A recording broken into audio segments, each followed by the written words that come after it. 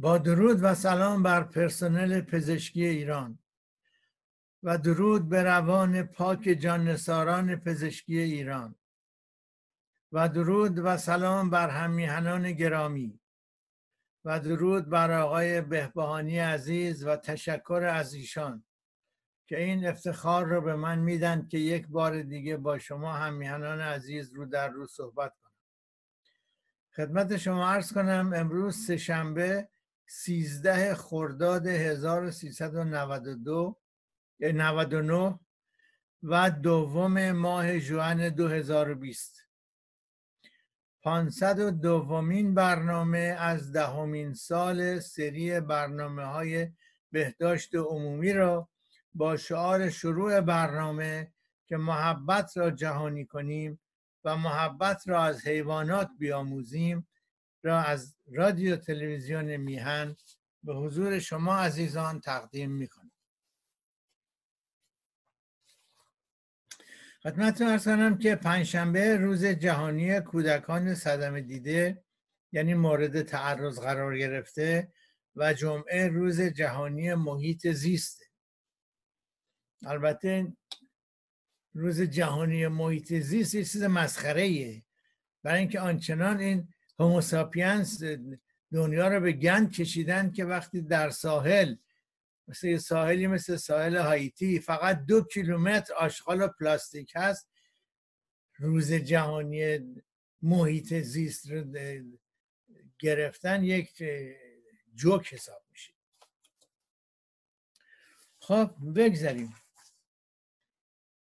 همینطور دیدم در فلورید هم یه روز که اجازه داده بودن بعدش چند تون آشغال ملت ریخته بودند. یعنی فقط مردم هایتی نیستن که آشغال میریزن آمریکایی هم هستن و ما ایرانی ها خودمون که شامپیون هستیم در همه چیز. بله خب. خدمت ارز کنم که هفته گذشته یک ایمیلی از یک هموطن عزیزی دریافت کردم. نوشته بودش براتون می‌خونم. طرح یک خواهش از شما. با درود و عرض ادب و احترام خدمت شما هموطن و برادر ارجمند جناب آقای انصاری گرامی. من از ایران مزاحم اوقات گرانبهای شما می‌شوم و از این بابت عذرخواهی می‌کنم. قبل از اینکه ادامه بدم هموطن عزیز من هیچ ایرانی اینجا مزاحم نیست. راستش در آخرین برنامه حضرت عالی در میهن تیوی من در مورد مشکلی که دارم مواردی را شنیدم که از بعضی جهات روی من مستاق دارد و بر این پایه به نظرم رسید که می توانم از شما درخواست کمک نمایم تا شاید در این اوضاع نابسامان مالی که بدان گرفتار آمدم از یک سو و از سوی دیگر به دلیل اخراج از محل کارم یعنی دانشکده مدیریت و اطلاع رسانی پزشکی تهران وابسته به دانشگاه علوم پزشکی ایران. چون از سال, از سال 90 تا کنون از همه مزایا و حقوق محروم شدم و بیکار هستم. فکر کردم شاید بتوانم از کمک شما بهرهمند شوم. من از همون اواخر سال 89 موقع ادرار کردن ادرار من دچار انشعاب می‌شد و ظاهرا از دو مجرا خارج میگشت که به بیمارستان رجوع و سندگذاری کردند و قرار شد که با دوربین چک کند که سال 90 فرار رسید و من اخراج شدم. از همان سال دیگر نتوانستم برای ادامه درمان به جایی مراجعه کنم و همانطور این مشکل ادامه دارد. و اکنون که دیگر به دلیل فقدان امکان مالی و پولی دیگر برایم میسر نیست که به دکتری یا جایی مراجعه کنم مراجعه کنم. من درد ندارم یا سوزش ندارم من تکرر ادرار هم ندارم یا هر عوارض دیگری اصلا ندارم فقط انشعاب است و اینکه جهش کافی ندارد. و باید اندکی هم با زور زدن ادرارم خارج شود. می‌خواستم از شما خواهش کنم قرص یا دارویی را لطفا به من معرفی کنید که من تهیه و مصرف کنم. شاید کمک شود و این مشکل من که در این شرایط بحرانی مالی و اجتماعی که دستم به جایی بند نیست و نه امکان دستیابی به پزشک حاضر و نه هزینه آن میسر است حل شود. سپاس از شما و مهرتان. به درود. خدمت ایشون ارز کنم اول راجع به وضع پزشکی در در کانادا مخصوصا در استان ما. خدمت ارز کنم اینجا از پزشک و پرستار و تکنولوگ و کمک پرستار همه کادر پزشکی هر کدومشون یک نظام دارن مثل نظام پزشکی نظام پرستاری. و کسانی که کار می‌کنن باید عضو این نظام باشند البته پس از گذراندن امتحانات بسیار سخت. و هر کدومشون یک شماره دارن. و اولا هر پزشکی حتی در موقعی که بازنشسته نشده و این شمارش اعتبار داره حق نداره برای خودش یا بچه هاش و خانمش نسخه بنویسه. در سنی بعد از اینکه بازنشسته شد دیگه عنوان دکتر رو به عنوان پزشک رو نداره و اجازه نسخه نوشتن نداره. و در سنی من هیچ وقت در برنامه های خودم نه داروی رو معرفی کردم برای یک بیماری. چرا؟ مثلا توی بیماری گفته این داروها مفیده من اسمشو گفتم ولی برای کسی دارو تجویز کنم هیچ وقت این کار رو نکردم و نمی کنم و از نظر اصلا قابل قبول نیست که از نظر از راه دور تشخیص بدی و نسخه بنویسی. البته از راه دور میشه جراحی کرد در در کانادا هم یک پزشک ایرانی در تورنتو هست که تنها کسی بوده که می‌تونه از کانادا تو استرالیا جراحی کنه. ولی برای نسخه نوشتن اینا متاسفانه نمی‌تونم من حتی خانم خودم که فشارش بالاست و من می‌دونستم که باید داروش دو برابر بشه. و با اون داروخانه هم که البته داروخانه رو می‌شناسه چون 15 سال کلینیک من تو همون ساختمونی بود که اون داروخانه هست. و با داروساز اونجا مشورت کردم و او هم گفتش که بله باید در دوز دارو دو برابر بشه. ولی اون هم اجازه نداشت. گفت من فکس می‌کنم به دکترت. و اینجا مشکل ما مشکل اینه که یا دکتر نداری یا دکتر هم داری. بخوای وقت بگیری سه ماه طول می‌کشه. واسه ایشون فکس کردن و بعد از پنج روز آقای خانم دکتر اجازه داد که دوا دو برابر بشه. پس من دوا برای ایشون نمی‌تونم بفرستم. و همینطور از کانادا تمام روابط با ایران قطعه. روابط بانکی روابط پستی از اینجا نمیشه یه نامه به ایران فرستاد. در سر از این هموطن عزیز معذرت می‌خوام. امیدوارم که این دلایل رو قبول کنند و پوزش من رو بپذیرند. بعد میریم سراغ قسمت اصلی برنامه. قسمت اصلی برنامه معمولا با معرفی یک بانوی ایرانی شروع میشه. من این بانو رو می‌ذارم امروز در آخر معرفی کنم. اینجا ایشون هستن. چرا در آخر؟ برای اینکه ببینم این مطالبی بهداشتی که باید حضورتون ارز کنم چقدر طول می‌کشه و از یک ساعت تجاوز نکنه. و اگر زیاد طول کشید خب یه مقداری از معرفی این بانوی عزیز رو با عرض مذرت از ایشون و شما کسر می‌کنید. هموطن عزیزی سوال کرده بود در دو هفته پیش فرق بین کرم و پماد چیه؟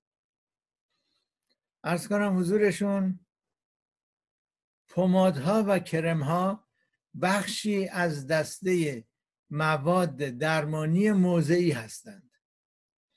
گروهی از داروهایی که روی سطوح بدن مانند پوست استفاده می شوند کرمها و پمادها امولیسیون روغن و آب هستند. تفاوت اصلی بین این دو میزان روغن و آب در آنهاست. کرم حاوی حدود 50 درصد آب و 50 درصد روغن که این امر باعث انتشار خوب و جذب خوب اون میشه. در فرمولاسیون کرم ها اکنون روغن زیتون یا روغن معدنی یا روغن های دیگر جایگزین شده که ارزانتر و در برابر تخریب مقاومتر است. این ماده حاوی الکل گلیسرین و لانولین است. از دهه 1970 روغن جوجوبا به عنوان عنصر رایج در کرم ها تبدیل شد. یکی دیگر از ترکیبات رایج در کرم های مدرن بوراکس است که همچنین باعث سفید شدن رنگ آن می شود از طرف دیگر پماد عمدتا از روغن تشکیل شده و حاوی 20 درصد آب و 80 درصد روغن می باشد پمادها اغلب بسیار روغنی هستند و به خوبی در پوست پخش نمی شوند. بسیاری از آنتیبیوتیک ها و داروهای دیگری که برای درمان تعدادی از مشکلات پوستی استفاده می شوند به صورت پماد در می آیند. کاربردهای مختلف عملکرد کرم های تهیه عملکرد کرم های تهیه شده صدی برای محافظت از پوست است این می تواند یک مانع فیزیکی یا شیمیایی مثل کرم محافظت کننده از آفتاب باشد. کرم ها اهداف مختلفی از قبیل حفظ رطوبت یا تمیز کردن و نرم شدن پوست دارند مانند لوسیون ها آنها معمولا برای هیدراتاسیون و عمدتا برای اهداف آرایشی استفاده می شوند با این حال از آنها برای درمان سوزش، بسورات، حساسیت یا سایر مشکلات پوستی از نظر دارویی استفاده می شود. مانند داروهایی برای بیهسی موضعی ضد التهاب کورتیکو ها هورمون ها آنتیبیوتیک ها ضد قارچ ها و یا ضد التهاب ها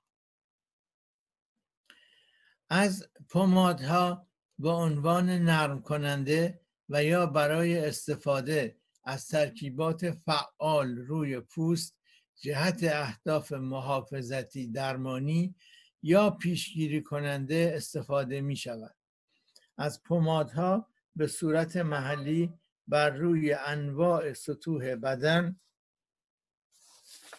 استفاده می شود مثل پوست قشاهای مخاطی چشم روی قفسه سینه بینی و بالاخره مقعد و واژن کرم ها با سرعت بیشتری نسبت به پمادها در پوست جذب می شود پمادها تمایل دارند مدت بیشتری روی پوست بمانند و مدت بیشتری طول می کشد تا جذب شود.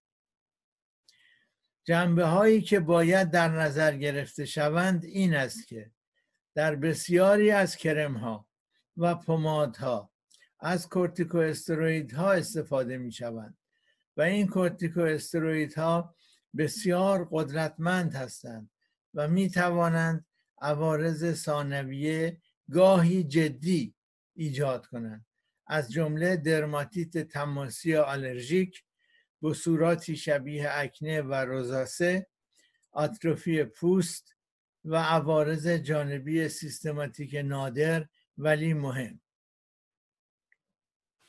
اگر مشکل پوستی دارید حتما با پزشک مشورت کنید و اگر از کرم ها یا پماد هایی که بدون نسخه تهیه می شوند می خواهید استفاده کنید حتما با داروساز مشورت کنید.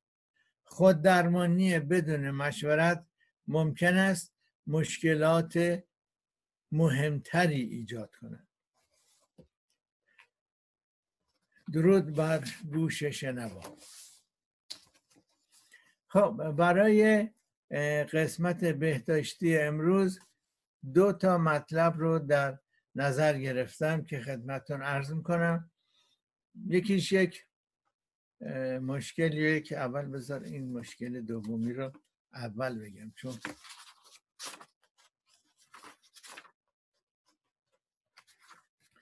بله. خب یکیش مشکلیه که دو سه روز خودم مبتلا شدم.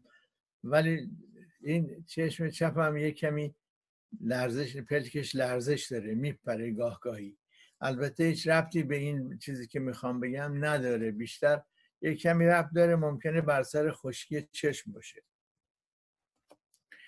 بله این مسئله که می‌خوام خدمت رو ارز کنم بهش میگن بلافارو اسپاس بلافارو اسپاس با بسته شدن بیش از حد و غیر عادی یا چشمک زدن بیش از حد چشم ها مشخص می شود البته با پریدن چشم کمی فرق داره.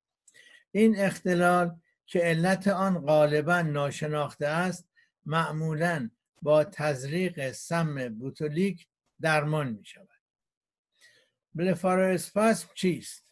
تعریف به زبان پزشکی بلفارواسپاسم یک دیستونی کانونی یا دیستونی موضعی است این آرزه است که با انقضاوات ازولانی پایدار و غیرعادی مشخص می شود در مورد بلفارواسپاسم دیستونی در مورد بلفارواسپاسم دیستونی مربوط به عضلات پلک است که به صورت غیر, غیر ارادی و غیر قابل پیشبینی و مکرر است. این انقباضات باعث چشمک زدن غیرعادی و بسته شدن جزئی یا کامل چشم ها می شود بلفرایسپاس می تواند یک طرفه یا دو طرفه باشد که شامل یک یا دو پلک است. می تواند فقط مربوط به پلک ها باشد یا با دیستونی های دیگری همراه باشد. به عبارت دیگر انقباضات عضلات در اعضای دیگر بدن هم دیده شود. هنگامی که عضلات دیگر عضلات دیگر صورت درگیر هستند به آن سندروم هیگ می‌گویند یا هیج می‌گویند. و هنگامی که انقباز در مناطق مختلف بدن رخ می‌دهد به این حالت دیستونی عمومی گفته می شود علل بلفاراسپاسم منشأ بلفاراسپاسم به طور کلی ناشناخته است. در بعضی موارد مشخص شده است که بلفاراسپاسم یک عکس عمل ثانویه بر اثر تحریک التهابی چشم است که در اثر وجود یک جسم خارجی در چشم و یا یک کراتو کنجنکتیویت یا خشکی چشم ایجاد می شود بعضی از بیماری های عصبی سیستماتیک مانند بیماری پارکینسون هم می توانند باعث انقباضات ازولانی غیر ارادی مشخصه بلفاراسپاسم بشوند.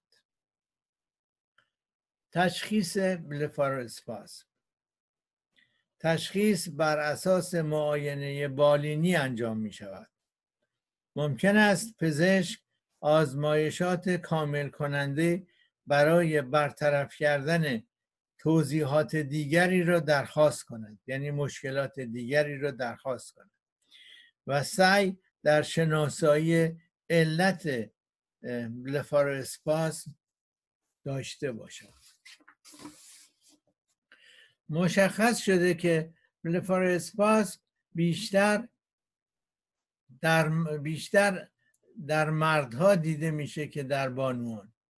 و همینطور به نظر می‌رسه که ممکنه که یک معلفه خانوادگی نیز وجود داشته باشه. عوامل ایجاد خطر. اسپاس ممکن است در بعضی شرایط شدیدتر شود. مثل خستگی مثل نور شدید و بالاخره مثل استراب حالا استرابو که امروزه با این کرونا ویروس که همه ملت دنیا استراب دارن سمتوم های بلفاروسپاس چشمک زدن و بسته شدن چشم. این بسته شدن چشم منظورم افتادن پلکه. پلک بالایی میفته پایین. بلفاروسپاس با انقباضات غیرعادی عضلات پلک چشم مشخص می شود به صورت زیر. چشمک زدن بیش از حد و غیر عادی بسته شدن جزئی یا کامل چشم به صورت غیر ارادی. یک چشم یا هر دو چشم می توانند مبتلا شوند. مشکلات بینایی در شدیدترین موارد و در صورت عدم درمان کافی بلفارسپاسم می تواند باعث ناراحتی, بی ناراحتی بینایی شود. این مشکل می تواند پیچیده باشد و باعث عدم توانایی باز شدن یک یا هر دو چشم شود. ناراحتی روزانه. بلفارواسپاسم می تواند فعالیت های روزانه را مختل کند. وقتی که باعث ایجاد اختلالات بینایی مهم بشود. و همچنین می تواند باعث اختلالات و عوارض اجتماعی با ناتوانی در حرکت و کار کردن شود. عوارض اجتماعی این شخص وقت ناراحت خجالت می‌کشه بره تو جامعه وقتی ببینه چشاش افتاده باز نمیشه. بهش استرس هم میده بیشتر استراب هم, استراب هم میده. نمی‌تونه کارش انجام بده. به دو دلیل. یکی اینکه چشم بسته است یکی استراب و استرس نمی‌ذاره. درمان بلفاروسپاسم اول درمان عامل بیماری. اگر علت بیماری مشخص شده باشد درمان عامل بیماری می تواند بلفاروسپاسم را بهبود بخشد. به عنوان مثال در صورت خشکی کراتو کنجنکتیویت استفاده از اشک مصنوعی تجویز میشه. باز اینجا یه پرانتز باز کنم. انواع مختلفی اشک مصنوعی وجود داره که بدون نسخه پزشک میشه تهیه کرد. اون را هم همینطور سر خود نرید از داروخانه وردارید بخرید. حتما با اون دارو اونجا میگیم فارماسیان با اون داروساز حتما مشورت بکنید چون بعضی از اونها ممکنه برای چشم شما ضرر داشته باشه. پس مشورت کردن در این درباره خرید داروهای بدون نسخه بسیار مهمه. بله. تزریق سم بوتولیک بوتولیک. این نخستین روش درمانی برای بلفارو اسپاسم است که علت مشخص و معلومی ندارد و یا مقاوم است و شامل تزریق دوز بسیار کم بوتولیک به عضلات پلک است. ماده ای که از عامل مسئول بوتولیسم استخراج و تصفیه می شود سم بوتولیک به جلوگیری از انتقال پیام های عصبی به عضلات کمک می کند و به این ترتیب عضله مربوطه نسبت به انقباضات فلج می شود این روش درمان نهایی نیست و تزریق سم بوتولیک هر سه تا شش ماه لازمه. عمل جراحی. اگر تزریق سم بوتولیک بی اثر باشد جراحی در نظر گرفته می شود. این عمل معمولا شامل برداشتن بخشی از ماهیچه از ماهیچه اوربیکولر از پلک هاست. اینم خدمت رو ارز کنم. که حتی ممکنه که پس از برداشتن قسمتی از این ماهیچه ها مدتی بعد باز پلک یه مقدار بیفته. این رو من در یک خانومی که عمل کرده بود دیدم. پیشگیری تا به امروز هیچ راه حلی برای پیشگیری از بلفاراسپاسم مشخص نشده. با این, با این حال اقدامات پیشگیرانه خاصی برای مبتلایان توصیه می شود که برای کاهش حساسیت به نور از عینک هایی که شیشه تیره دارند استفاده کنند یا در نتیجه انقباضات غیر ارادی عضلات پلک رو محدود کنند. بله. اینی که گفتم. گفتم. بله. خب مشکل دیگه ای که می‌خوام خدمت ارز کنم مشکلیه که یکی از دوستانی که خانمش فارغ شده کودکش این مشکل رو داشته و این یک سوژه به من داد که درباره این مشکل این کوچولو با شما هم صحبت کنم. این مشکل فرانسه بهش میگن پیبو. فارسیش میشه پاچنبری. پاچنبری یک ناهنجاری در پاست از بدو تولد.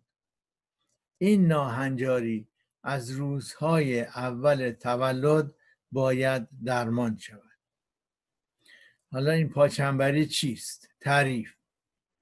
پای نوزاد در هنگام تولد به طرف داخل چرخیده. به اصطلاح پزشکی به آن پای واروس یا پای چنبری فارسیش میگیم پای چنبری می‌گویند. و یک تغییر شکل مادرزادی است و می‌تواند یک طرفه و یا دو طرفه باشد. و روی یک یا هر دو اندام تحتانی اثر بگذارد. این تغییر شکل بر اثر موارد زیر است. اول ناهنجاری استخوانها. دوم قرار گرفتن موقعیت بد استخوانها نسبت به یکدیگر. و سوم ناهنجاری و جهتگیری ضعیف سطوح مفصلی. و بالاخره سفتی سطح مفصلی ناشی از کوتاه شدن عضلات یا کوتاه بودن عضلات تاندونها و ربات ها علل و عوامل تولید کننده پای چنبری. پای چنبری یک نقص مادرزادی است. یعنی ناهنجاری. وقتی که کودک در رحم مادر است رخ می‌دهد. علت دقیق آن هنوز مشخص نشده است. این ناهنجاری بیشتر در موارد زیر دیده می شود وقتی که یکی از والدین یا خواهر و برادر آنها دچار پای چنبری بودند. در بعضی گروه های قومی خاصی هم دیده میشه. اگر بعضی از ناهنجاری های ژنتیکی دیگری هم وجود داشته باشند این مشکل پای چنبری هم به اونها اضافه میشه. به نظر می‌رسه که استعمال سیگار توسط مادر در دوران بارداری می تواند کمک به ایجاد پای چنبری کند. تحقیقات همچنان ادامه دارد تا دلایل و عوامل ایجاد پای چنبری بهتر شناخته شود.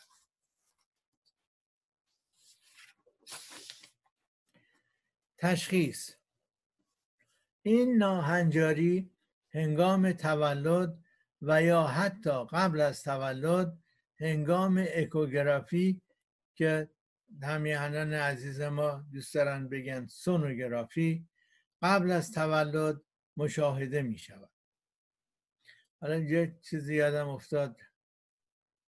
خدمت ارز کنم. یه توی یک مهمونی دین دوستان دوست دوره ای مهمونی دوستان بودیم. من معمولا توی این مهمونی ها حرف نمی‌زنم. چون بیشتر مسائلی که اینا با هم صحبت می‌کنند و حرف می‌زنن از نظر برای من جالب توجه نیست. حرفا رو گوش می‌کنم ولی در اون مسا... چی میگم در, در اون صحبت ها و بحث ها اینا شرکت نمی‌کنم. تا اینکه مشکلی پیش اومد از من سوال کردن و من چند بار مجبور در صحبتم مجبور بودم بگم اکوگرافی. یه خانم هموطنی هم که تازه از ایران اومده بود تا من می‌گفتم اکوگرافی فوری تصمیم می‌کرد می‌گفت نه سونوگرافی. خلاصه حرف من که تموم شد بهش گفتم ببینید خانم عزیز آفریقایی ها یک ضرور مسئله جالبی دارن. می‌خوان می‌خواین براتون بگم؟ بفرمایید. گفتم میگن که لازم نیست که به یک میمون پیر شکلک در آوردن رو یاد بدید. خودش بلده. خب اینم برای اینکه کمی بحث امروزمون فکاهی بشه خدمت ارز کنم. بله. ولی قبل از تولد یا هنگام اکوگرافی که تشخیص داده شد با این حال با وجود این شدت چنبری بودن پا فقط پس از تولد با بررسی پای کودک قابل ارزیابی است. می توان آزمایش های تصویر برداری پزشکی مخصوصا امارایی که همه چی رو به دقت نشون میده نیز برای دیدن وضعیت استخوانها و عضلات و تاندونها و ربات ها نیز درخواست شود. چه کسانی در خطر ابتلا هستند؟ پای چنبری یک ناهنجاری است که معمولا به طور متوسط یک یا دو نوزاد از هر نوزاد هنگام تولد به اون مبتلا است. از هر هزار تولد یک یا دو, تا نوزاد به اون مبتلا هستند. و بیشتر در پسرها دیده میشه تا در دخترها.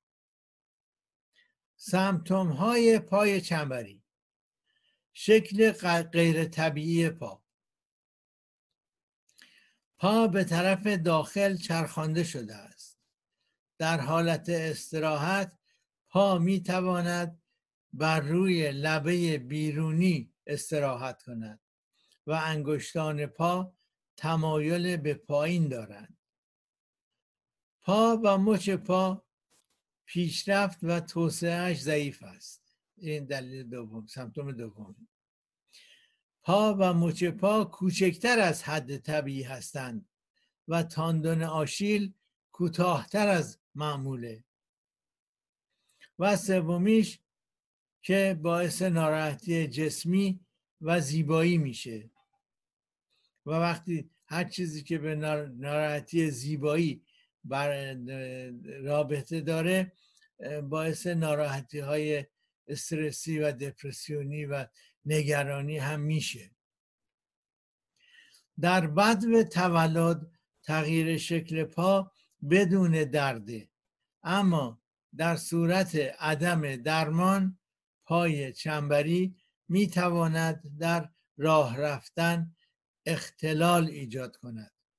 کودک می تواند با تکیه دادن به لبه بیرونی پا راه رفتن را شروع کند و این باعث می شود که پوست سخت بشود و باعث ایجاد پینه و زخم بشه.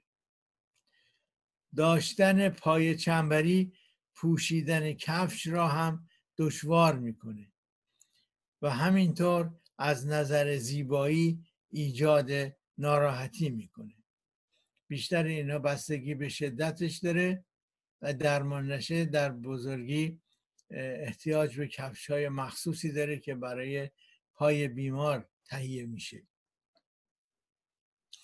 احتمالا این پاها این پای اگر یک پا دوچار باشه این پا از پای دیگر می‌تونه کوتاهتر هم باشه.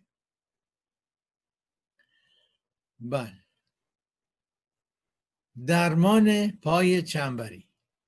در حال حاضر از دو روش برای درمان پای چنبری استفاده می شود و در هر دو متد باید درمان در روزهای اولیه پس از تولد شروع شود. درمان عمل کردی و روش پونستی.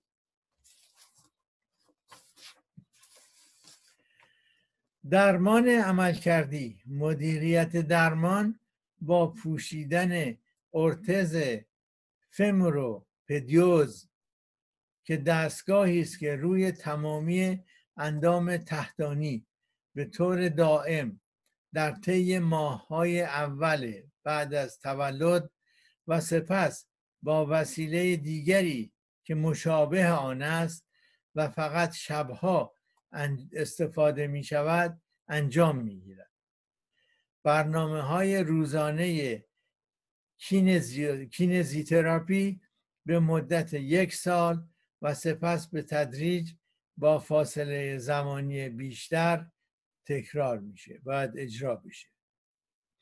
روش پونستی. این روش این رو بیشتر استوپاتا انجام میدن روش پونستی رو. اون اولی رو معمولا ارتوپدیست ها انجام میدن این روش مبتنی بر دستکاری کف و مچ پا برای اصلاح موقعیت آن است و سپس پا گچ گرفته می شود و این گچ گرفتن را باید هر هفته عوض کرد. یعنی اون دستکاری که می‌کنند شکل پا رو که عوض می‌کنند یک هفته که اینطور میمونه هفته بعد باید شکل پا عوض بشه. و گچ گرفتن هم عوض بشه. گچگیری از انگشتان پا تا بالای زانو ادامه داره. پس از شش بار تعویز گچ معمولا یک اصلاح تاندون آشیل لازم میشه. این عمل تحت بیهوشی عمومی برای ترمیم و آزاد کردن یا زیاد کردن طول تاندون آشیل انجام میشه. مرحله دوم استفاده از آتل مخصوص به نام آتل پونستی میچل است که از دو کفش مانند است که به وسیله یک میله به هم وصل شدند بهش splint هم میگن. از این آتل ها یا splint ها باید روز و شب استفاده بشه تا موقع راه رفتن کودک برسه و سپس فقط در شبها بسته میشه استفاده میشه. وقتی که کودک توانست راه برود به توصیه متخصص استفاده از آتل معمولا در حدود تا حدود چهار تا پنج سالگی ادامه داره. پیشگیری از آنجایی که تا به امروز علت ایجاد پای چنبری مشخص نشده هیچ گونه اقدامات پیشگیری وجود نداره. از طرف دیگر با مراقبت های زودرس و به خوبی می شود از ریسک اوج اود آن جلوگیری کرد. در واقع پیگیری از درمان مخصوصا استفاده از آتل تا پایان دوره درمان بسیار مهمه. تا از ظهور مجدد پای چنبری جلوگیری بشه. درمان پای چنبری در کودکان بزرگتر بسیار مشکلتر انجام می شود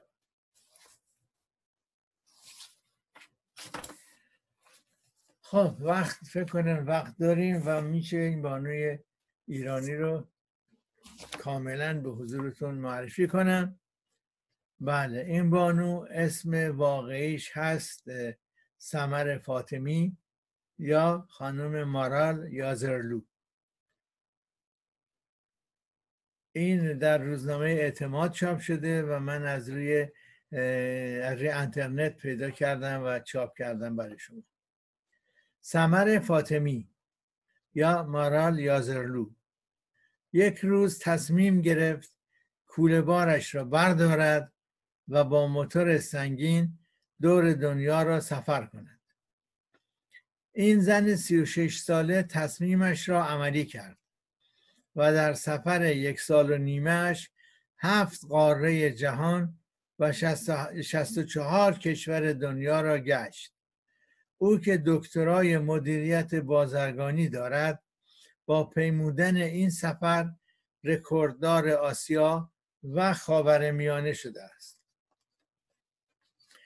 مارال یازرلو سفر خود را از کشور هندوستان آغاز کرد و هدفش به اثبات رساندن شعار زندگیش تا به, رو... تا به رویاهایتان نرسیدید دست از تلاش نکشید بود او با طی ده هزار کیلومتر به تنهایی در جاده های مختلف کره زمین برای نشان دادن توانمندی های یک زن ایرانی به کل دنیا با ورود به ایران و پیمودن جاده های وطنش سفر خود را به پایان رساند. مارال از مسئولان می خواهد اجازه صدور گواهینامه رانندگی موتور و تردد بانوان خارج از پیست با حفظ قوانین کشوری را صادر کنند. او از مادر و برادرانش میلاد و پوریا و مریم زن برادرش و شوهر عزیزش به عنوان بزرگترین حامیانش نام می‌برد که با حمایت و دعایشان او را در این برهه از زندگیش برای تحقیق رویاهای دینش حمایت کردند. قبل از که ادامه بدم عکس این بانو رو به شما نشون بدم. با موتورش. چرا تصمیم گرفتید این کار را انجام دهید؟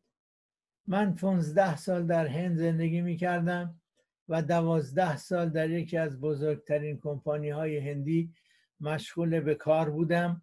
شرایط زندگی من در هندوستان عالی بود. هم کار فوقالعاده خوبی داشتم هم جایگاه هم خیلی خوب بود و درسم را هم خوانده بودم. دلیل اینکه این تصمیم را گرفتم این بود که من آرزو داشتم دنیا را ببینم. قبل از شروع سفرم با موتور به 67 کشور سفر کرده بودم. من هر سال یک ماه از کارم مرخصی می گرفتم و به سفر می رفتم وقتی تصمیم گرفتم این سفر را با موتور بروم خواستم با آرزوی گشتن دور دنیا با موتور برسم. ببخشید اجازه دست عوض کنیم. دستمان به اثر پیری. وضعش خراب است. بله.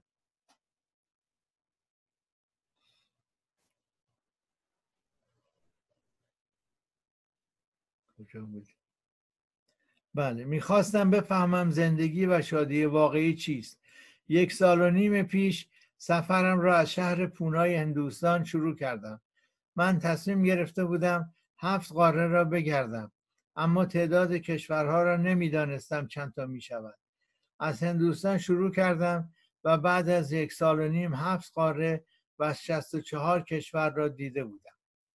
از تجربه سفرهایتان برای من برای من بگویید. تنها سفر کردید؟ درست است. من اول که سفرم رو شروع کردم موتور سوار دیگری را به عنوان عکاس و مستندساز با خودم برده بودم. اما متاسفانه بعد از چند ماه اول سفر به دلیل سختی سفر و مشکلات جسمی که برایشان پیش آمد نتوانستند سفر را ادامه دهند. من بعد از آن تنهایی سفرم را ادامه داشتم. نه تیمی داشتم نه اسپانسری. هیچ بوکینگی انجام ندادم. یا کسی که کارهای ویزا و عبور از مرزهایم را انجام دهد. همه کارهایم را خودم به تنهایی انجام دادم.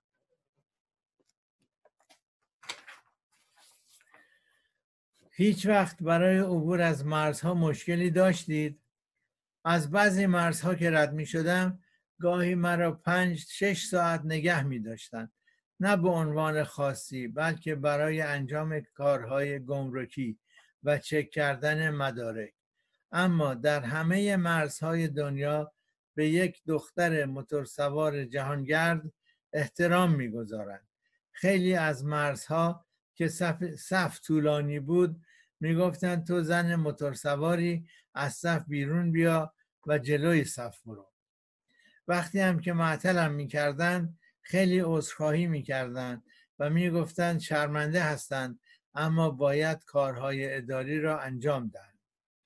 برخوردها خیلی معدبانه و خوب بود. من اکثر جاهایی هم که ماندم برای پایین آوردن هزینه در چادر خوابیدم و غذایم را خودم درست می‌کردم. هزینه سفرتان چقدر شد؟ باید حتما حساب کتاب کنم. الان دقیقا نمی‌دانم چقدر است. چون هزینه ها در قاره ها و کشورهای مختلف متفاوت بود. اما می توانم بگویم تقریبا دورور 150 تا 200 هزار دلار. هزینه را از قبل تامین کرده بودید؟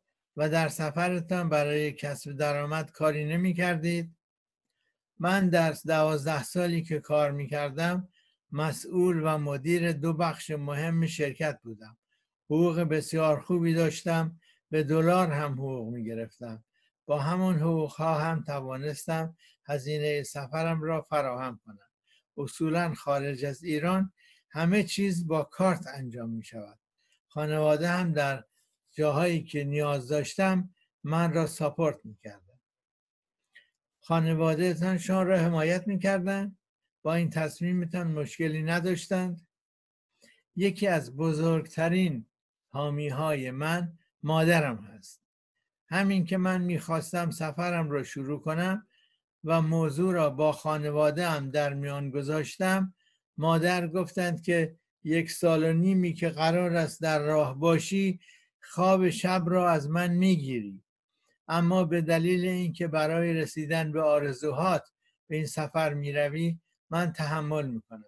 ولی فقط مواظب باش که صحیح و سالم بروی و برگردی. مادرم هر روز برای من دعا می‌کردن و هر روز من هم به او مسیج می‌دادم و از اوضاع و احوالم با خبرشان می‌کردم. من دو برادر به نام های میلاد و پوریا دارم. مریم همسر برادرم و همسرم. اینها آدم های بسیار مهم زندگی من هستند که از همون شروع سفر حامی و پشتیبان بودند. تا زمانی که سفرم در ایران تمام شد و سر خانه و زندگی هم برگشتم. ببخشید. گفتید ازدواج کردید. واکنش همسرتان به این تصمیم چه بود؟ حدود ده ماه پیش یعنی آبان ماه سال گذشته در مسیر این سفر ازدواج کردم. همسرم را از قبل می‌شناسم. در سفر بودم که او از من خواستگاری کرد و گفت یک جایی در مسیر را پیدا کنم تا ازدواج کنیم. خانواده ها با هم هماهنگ کردند و من در کشور پروی آمریکای جنوبی ازدواج کردم. و شوهرم هم برای حمایت از من با پرواز به کشوری که من بودم می آمد و همدیگر را می دیدیم و برمیگشت. من از زمانی که ازدواج کردم هنوز به خانه برنگشتم. من طراح لباس هم هستم و در هندوستان یک برند لباس هم به اسم خودم دارم و برای سر و سامان دادن به شرکتم باید به هندوستان برگردم. وقتی به هند برگردم همسرم هم با من خواهد بود. بعد از رسیدن به هندوستان تصمیم می‌گیریم کجا زندگی کنیم. من, من ساعت چک می‌کنم که از وقت وقت یک ساعت هم بیشتر نشه. وقتی که به عنوان یک زن سختی های این سفر برای شما چه بود؟ وقتی به عنوان یک زن روی موتور هستید و سفر می‌کنید خیلی مهم است که جاده ها را درست انتخاب کنید. من همیشه جاده های فرعی را ترجیح می‌دادم. چرا که به زیبایی هایی می رسیدم که در اتوبان ها وجود ندارد. ولی خیلی مهم بود که کجا می ایستادم کجا چادرم را برپا کنم. به هر حال وقتی زن و تنها هستید یک سری ترس های وجود دارد. به حال یک سری جاهایی که می‌گویند خطرناک اما من می‌گویم جاهایی که درست نیست شب نمانم. ترجیح می‌دادم و سعی می‌کردم که شب در جاده نباشم. چون هر کشوری را که در نظر بگیرید شبها خطرناکتر از روز است. نکته دیگر این بود که وزن موتورسیکلت من خیلی بالاست. دفعه آخری که می‌خواستم موتورم را با هواپیما از روی اقیانوس به قاره دیگری بفرستم. با چمدان و وسایلی که رویش بود 375 کیلوگرم وزن داشت. این موتور اگر بیفتد به هیچ عنوان امکانش نیست که من به عنوان یک خانم بتوانم این موتور را به بالا برگردانم. همه تکنیک هایی هم که در انترنت می‌خوانید اگر امکان امتحان کنید امکان ندارد بتوانید 375 کیلو را بلند کنید. این یکی از چیزهایی بود که من باید از تمام مهارتم در جاده هایی که گل و سنگ بود و آسفالت, آسفالت نبود استفاده می کردن تا نیفتم. در جاده های فرعی آفریقا و آمریکای جنوبی روزی یکی دو ماشین بیشتر عبور نمی‌کنه من حواسم بود که موتورم نیفتد و در جاده گیر نکنم مشکل دیگر این بود که در چنین سفری از آب و هواهای مختلفی رد می‌شوی خیلی سرد خیلی گرم. بعضی وقتها در یک روز سه چهار نوع آب و هوا عوض می‌شد. این خیلی روی سلامت و قدرت بدنی تاثیر می‌گذارد. وقتی مریض می‌شوید تب یا بدن درد دارید باید همچنان به سفرتان ادامه دهید. من هم که در چادر میخوابیدم این امکان را نداشتم که جای گرم و نمر بهتری داشته باشم. بارها اتفاق افتاد که با تب بالا و بدن درد شدید مجبور به ادامه سفر شدم. البته این سختی ها فقط مختص زنان نیست. هر بایکر یعنی موتور سواری اگر بخواهد این سفر را انجام دهد این سختی ها را دارد. بعضی یعنی مشکلی در این سفر نداشتید به جز مشکلاتی که ممکن است برای هر انسانی پیش بیاید؟ به مشکلی که ویژه زنان باشد بر نخوردید مشکلی که من داشتم که البته اسمش را مشکل نمی‌گذارم چون از نظر من مشکل چیزی است که حل نشود. وقتی حل می شود و من فردا روی موتورم ادامه می دهم دیگر مشکل نیست. من وقتی آفریقا بودم سه بار موتورم وسط جاده خراب شد و خودم نمی توانستم به هیچ عنوان تعمیرش کنم. مجبور شدم چرخ موتور را باز کنم و چرخ را ببرم تعمیرگاه تا درستش کنم یک بار هم در لاوس جک موتور خراب بود و روی پایم افتاد و مدت دو هفته نمی توانستم پایم را روی زمین بگذارم و راه بروم و باید موتور سواری را با یک پا هندل می کردم این مشکلات وجود داشت. بله وقت هستم یک شب خوب نمی خوابیدم و فردا باید به سفرم ادامه می دادم مسیرها طولانی بود. مثلا من زمانی که از مکزیک رد می شدم به من گفتن به هیچ عنوان در مکزیک نیست.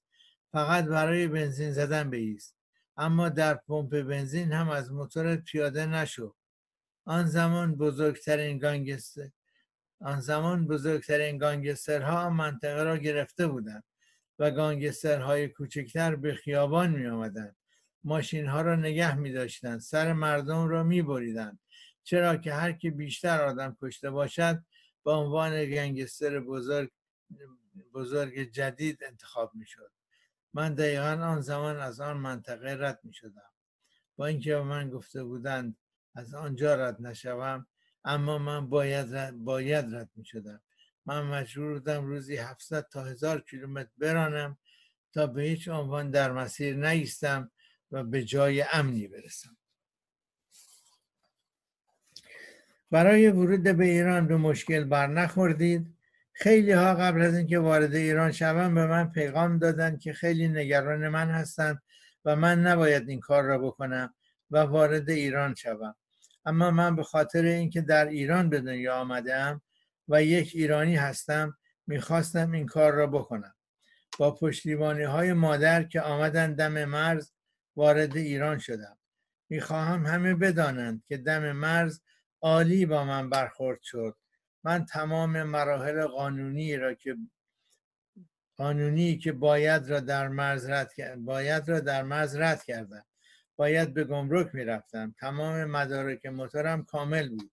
باید پاسپورتم را می‌دادم. این کارها انجام شد و بعد هم از من بازجویی شد و یک سری سوالات درباره اینکه از کجا آمدم به کجا می‌روم و هدفم چیست و سوالات این چنینی از من پرسیده شد. موقعی که پاسپورت مرا مهر می‌زدند به من گفتند که من افتخار ایران هستم و خیلی خوشحال هستند که می‌بینند یک دختر ایرانی یک سال و نیم با موتور دنیا را چرخیده و رکورددار آسیا و خاور میانه است. و باعث افتخارشان است که من را به ایران راه بدهند. من به هیچ عنوان مشکلی نداشتم. من به عنوان اولین دختر ایرانی اجازه ورود و راندن موتور سنگین را در ایران دارم. خب وقت تقریبا تمام شد. برنامه ما هم تمام شد. برنامه را با شعار پایان برنامه که به قول شاعر تنت نیازمند به ناز طبیبان مباد به پایان میرسانیم. اگر سوالی داشتید اگر مایل بودید در باره موضوع خاصی صحبت کنم لطف کنید ایمیل کنید. در خدمت شما عزیزان هستم. روز و روزگار به شما خوش. با درود و بدرود تا به درودی دیگر. تا با درودی دیگر.